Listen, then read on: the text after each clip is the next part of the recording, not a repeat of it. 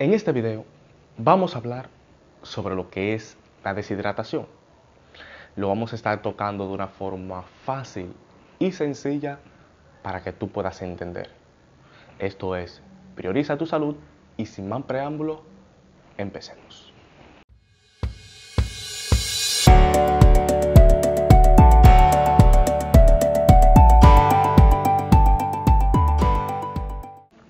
¿Qué es la deshidratación?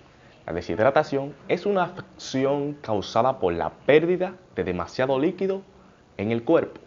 Esto ocurre cuando pierdes más líquido de los que quieres y tu cuerpo no tiene suficiente líquidos para funcionar correctamente.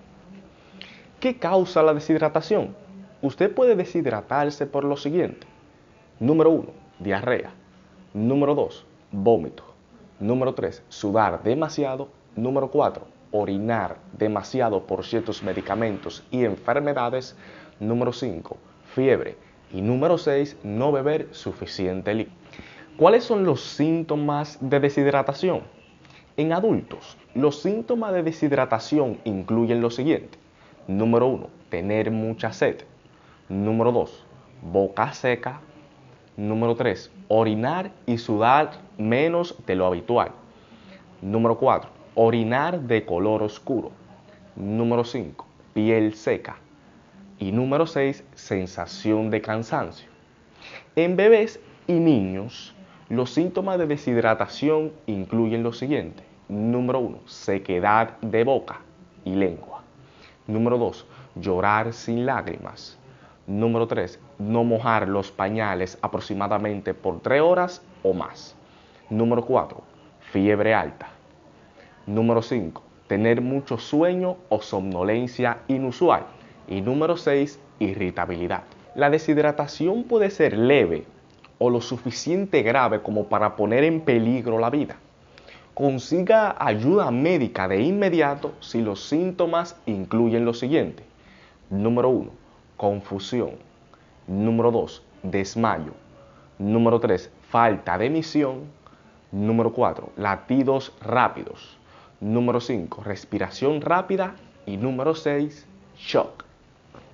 ¿Cómo se diagnostica la deshidratación?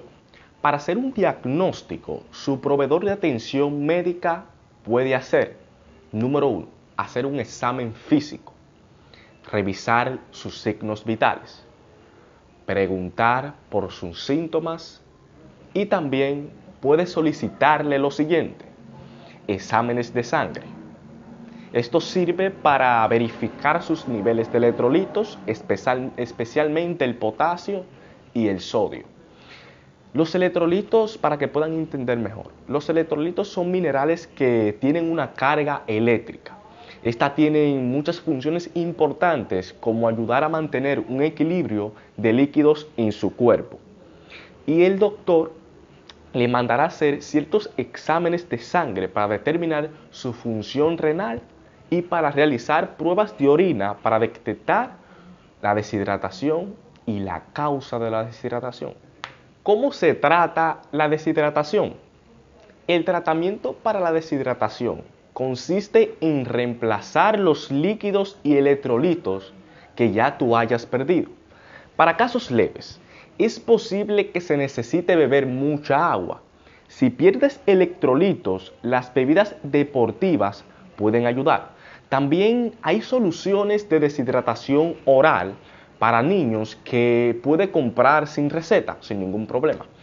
Los casos graves pueden tratarse con líquidos intravenosos en un hospital.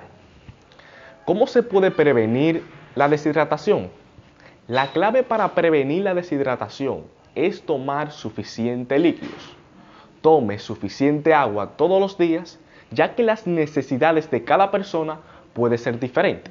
Así que pregúntele a su proveedor de la salud cuánta cantidad de agua debe tomar al día.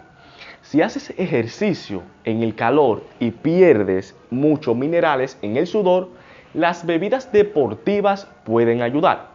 Evite las bebidas que contengan azúcar y cafeína. Beba suficiente líquido adicionales cuando haya calor o cuando estés enfermo. Hasta aquí el video de hoy, no olvides suscribirte, darle like y compartir. Espero que este video les sirva de gran ayuda y puedan adquirir todas las informaciones importantes que he dado en este video. Así que, hasta luego.